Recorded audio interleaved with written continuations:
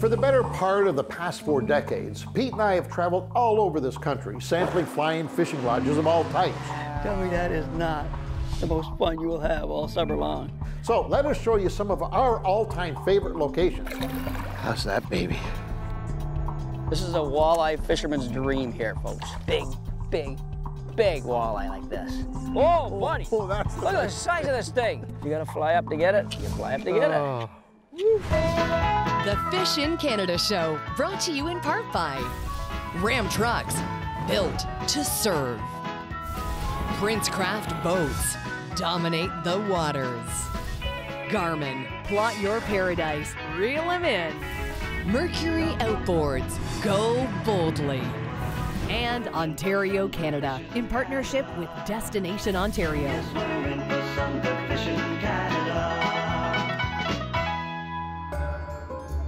A couple of weeks ago, we dedicated an entire episode to drive-to fishing lodges. Well, this week, we explore the exciting world of fly-ins. Now, although Pete and I are constantly spewing the virtues of fly-in fishing, we do get the fact that it's not everybody's cup of tea. After all, the perception is that they're expensive, you need to take time away from work, time away from the family if you're going with fishing buddies, and make the time to set it all up. Well, that's the perception. Reality is that today's fly-ins are no more expensive than most other getaways, especially if you compare them to the annual family vacation. In fact, with travel and border restrictions being what they are, this might be the perfect year to make fly-in fishing a family affair. After all, nothing says I love you like a fly-in family vacation. Fly-in fishing lodges have been around since the advent of float planes in 1946.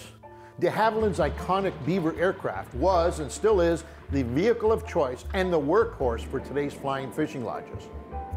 First brought to the public's attention in 1968 by the Red Fisher TV show, fly-in lodges have come a long way since those early days. That handful of adventurous entrepreneurs have given way to the burgeoning modern industry that we know and love today. However, with the coronavirus and the pandemic, things certainly have changed. Lodge owners have scrambled to make things safe for their customers, yet still offering the ultimate in a dream fishing vacation. How awesome is this fish? Oh! I'm in my glory. Can you tell? Wow. With COVID 19 suddenly rocking our world, can our beloved Canadian fishing lodges survive? You bet they can, but only with our support. There's no better time than the present to book that trip of a lifetime.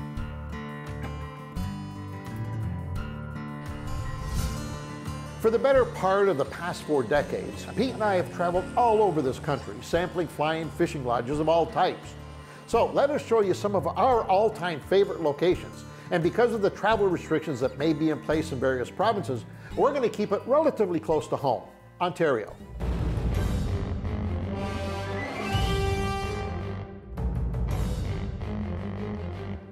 Perfect. Beautiful A walleye. humpback. Race Lake walleye.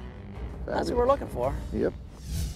Whoa, did you see that? Whoa, did you see that? Oh, out of the water. My God, that's on six pound test line. Did, did you guys see that? Oh my God, I've never seen anything like that. That was awesome. before. Beautiful.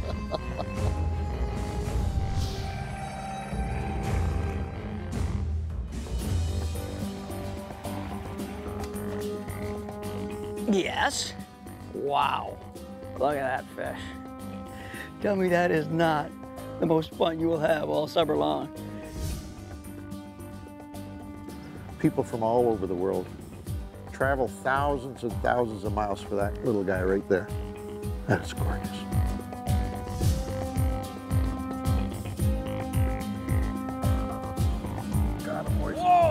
Big one. Oh, oh, buddy. Oh, that's Look at the size of this thing. This is a sample of what you can get and better. Gorgeous fish. Up you go, baby. See ya. Oh, yeah. Look at her. that is a blast. Good That job. is a blast. I don't care if you have to travel a day or two to get that Oh, of fish. you know what? Yeah, exactly. You gotta fly up to get it. You fly up to get it. Oh. You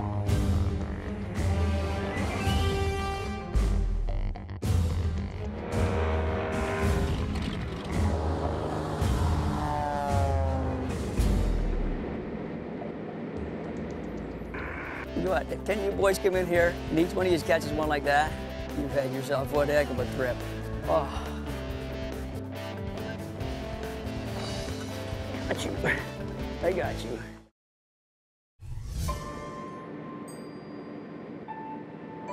There are two types of fly-in fishing trips.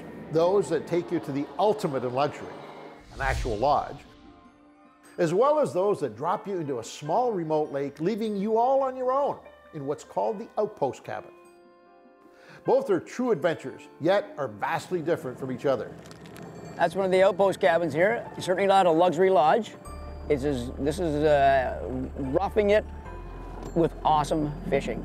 Think about it that way. It is so worth it. You come out to a little cottage, three or four days, like that little outpost camp right there, and you have a blast. Got you. I got you.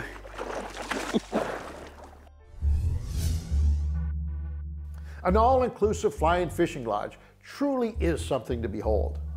The float plane pulls up to the dock, the lodge crew grabs your gear, you walk up to the check-in counter, maybe have a coffee and then breakfast, and then head to your fully furnished cabin or room with all your gear already delivered, just like they do at Vegas or Disney. You genuinely get the feeling of living in luxury out in the middle of nowhere. A seven-day trip like this can cost you somewhere between two and three thousand dollars per person. Now remember, this is an all-inclusive trip of a lifetime. So when comparing this experience to any other all-inclusive vacation, you're going to find that it would be cheap at twice the price. And I'll guarantee you, you won't experience things like this down south. Get in here. Get in here. Wow. Oh, man. This is a scary fishery right here. This is as good a fishery, I think, as we've oh, experienced. Oh, in the North Country? In North Country. Absolutely. It's Look at that another walleye. nice walleye. Oh, baby. Sweet. Without a doubt, the ultimate luxury in fishing is the lodge experience. Heck, they feed you there, they guide you to the fish. It is the ultimate. However, there is an alternative. It's called the outpost camp. There, you bring in your own food, you cook it, and you guide yourself to the fish. It's a good alternative to a lodge, and it can be an awesome experience. An outpost fly-in trip is the quintessential Canadian fly-in adventure. It starts out the same as a regular lodge fly-in, but the big difference is the outpost headquarters is a small two, three, or four bedroom cabin. The building is like a rustic cottage or camp, but it's often the only one on the entire lake. It's total isolation from the rest of the world and pure ecstasy for those seeking to be alone. Tell me, a lake that you can take a little three and a half horsepower and catch fish like this. The lake, here's the lake right here. I can see it all. You fly in, one camp on the lake. You're the only boat or the only group. If you want to come in with the, place will sleep 10 people. You know what? If 10 of you boys come in here and each one of you catches one like that, you've had yourself one heck of a trip. Oh, Woo, baby.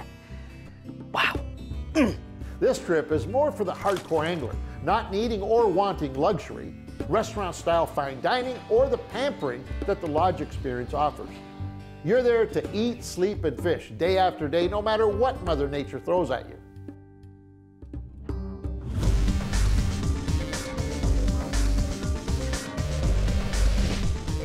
This hotspot is a shallow bay on Garnham Lake that warms up quickly in the spring. A perfect place for northern pike to rest after the spawn. The waypoint on your screen will take you right there. Upon entering the bay, try conventional baits like spinner baits, suspended minnow baits, and top waters. But if the fish don't react quickly, then bring out the live suckers on a quick strike rig. It's important to remember to set the hook as soon as the pike grabs it. Any hesitation, and the fish could try swallowing the whole rig, thus hooking it deep in the throat. For more hotspots like this one, check out fishncanada.com.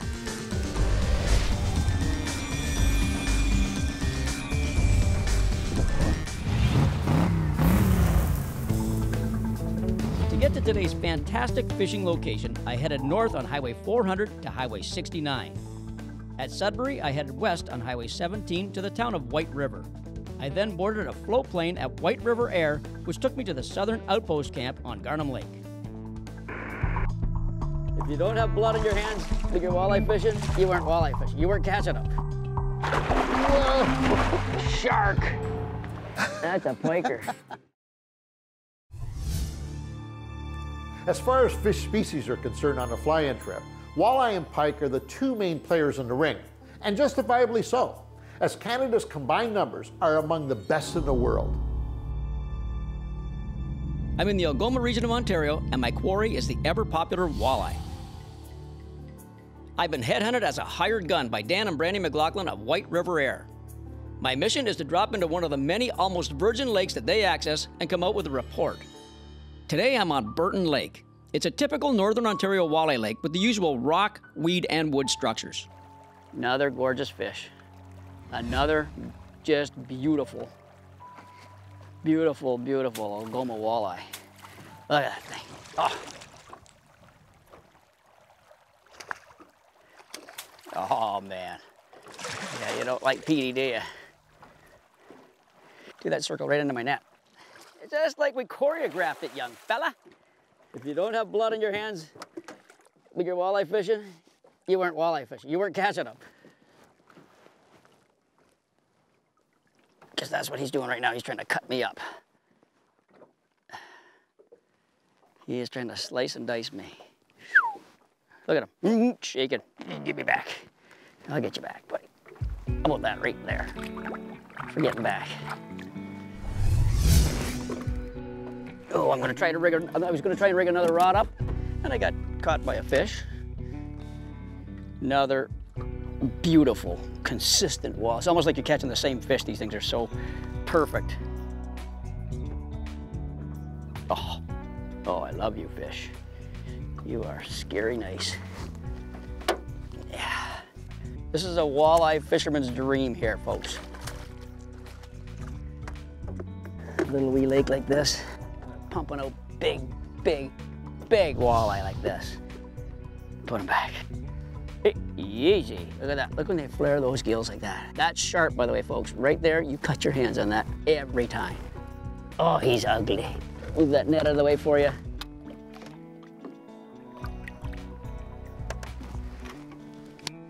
Ooh, this is amazing. I'm loving it. I don't want to ever go home. I want to live here. This has been an incredible day. I set out to test the walleye fishing on a fly-in lake for the possibility of a future outpost camp, and the result, well, you saw it. Fantastic. Fishing mission accomplished.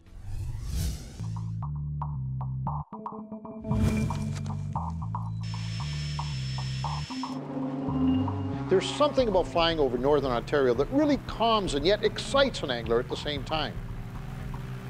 Our destination, Eddie North's Attawapiskat Adventures, is a very rustic style hunting and fishing camp. If you're looking for absolute luxury with every amenity available, then this is not for you. However, if you are looking for a no-frills, affordable camp that is situated in some of Ontario's most pristine pike and walleye waters, then this is definitely for you. Good to meet you. Great to meet you.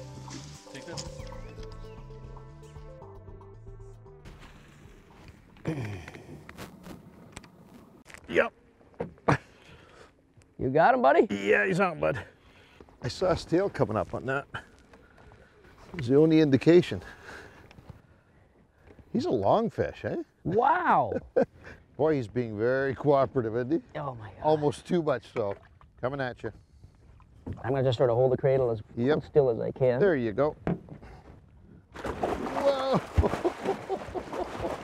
Shark. There we go. Look at that fish.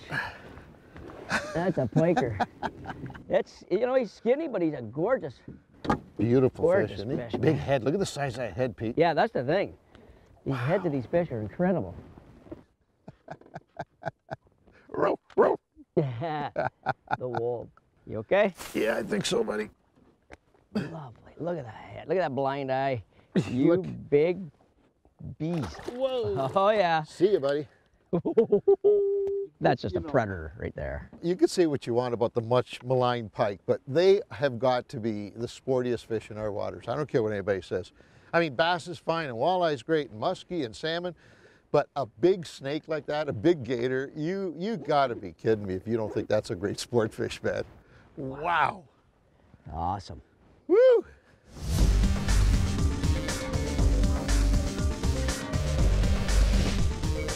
This hotspot is a break line on Burton Lake. The waypoint on your screen will get you there. At first glance, this certainly doesn't look like a walleye hotspot, but drop a jig down there when the water is in the high 50s, and hopefully you'll have the same success that I had. Remember, this is one of 30 gorgeous lakes that White River Air has access to for fishing and hunting. Trust me, there are walleye up here that have never seen a jig and minnow. For more hotspots like this one, check out fishncanada.com.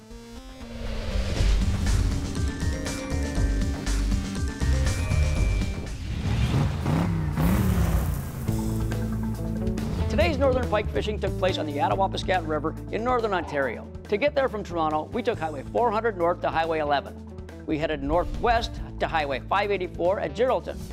From there, we drove north to the town of Nakina and finally took Cordingley Lake Road to the Nakina Air Seaplane Base. From there, we flew into Eddie North's Attawapiskat Adventures Camp on Bateau Lake. RAM's extensive testing created some great features, like the four corner air suspension, which lowers the vehicle half an inch while at highway speeds. Choice is the key advantage here, with the ability to adjust the height of the vehicle at the push of a button. Higher for more ground clearance, or lower for more aerodynamics and fuel economy. And if that wasn't enough, when the truck is in motion, the new power side steps rotate into the rocker panels to reduce both drag and noise. Clever innovation at its finest. That's why this Ram is perfect. Now he's, oh, look at that Oh, my fish. God. My God. There we go. Yeah, look at that fish. God, that is spectacular, man. Gorgeous brook trout. Oh,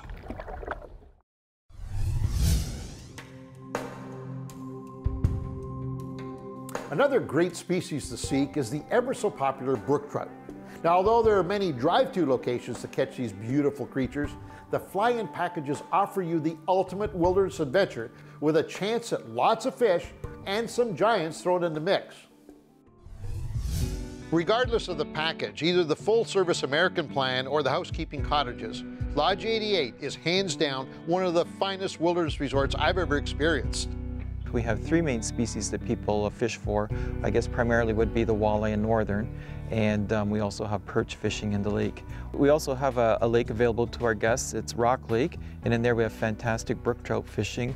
As if flying into this resort was not enough to experience the beautiful Ontario wilderness, to access this phenomenal speck fishing, I was in for a wonderful portage to some pretty serious moose country. He's coming right at me. Just, just like a salmon they are, eh? Oh my God, he's coming right, Right at me. Right at you. Whoa. There you go. You're caught up with him now. Now he's, oh, look at that Oh, my fish. God. My God.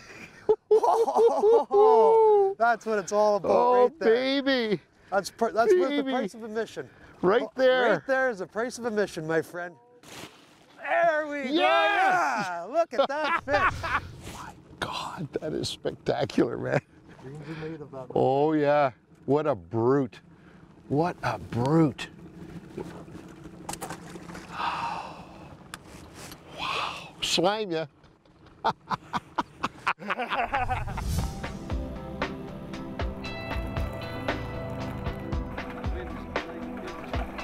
The Blue Lake system, home to Blue Fox Camp, consists of Blue Lake and seven surrounding feeder lakes.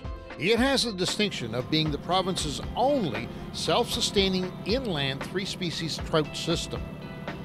Besides the Blue Lake system, we have access to approximately 50 back lakes, all of which are stocked with brook trout that grow to 7 8 pounds approximately. Oh, that's a gorgeous brook trout. Oh, Oh, all right, Mr. Brookie, come on home. Now you're to see a really colorful brook trout here, but it's pale in comparison to what it's going to be in about four and a half, five months this fall. Oh, look at that. Okay, gotcha. I want to pick this fish up to show you, but uh, I don't know how cooperative that he's going to be. There he is. How's that, baby? That is worth the trip into these little backwoods. Trust me. Whoa. Okay, it's gotta go. Whoa. See ya. Hey, as we sit at the head of the show, We get the fact that fly-ins are not everyone's cup of tea. To each his own. But I'd like to leave you on this note. Don't let the cost scare you. Because if you break it all down and compare apples to apples, it's a lot less expensive than you think. And besides, if you're looking for the ultimate fishing adventure with friends or family, a chance at catching, let's say, 50 to 100 walleye a day per person, or a personal best brookie, northern pike, or lake trout, it's time that you take advantage of the cards that we've been dealt with COVID-19 and this pandemic. A fly-in fishing trip has never made more sense or been more affordable than right now. I promise you, you won't regret it. See you next week.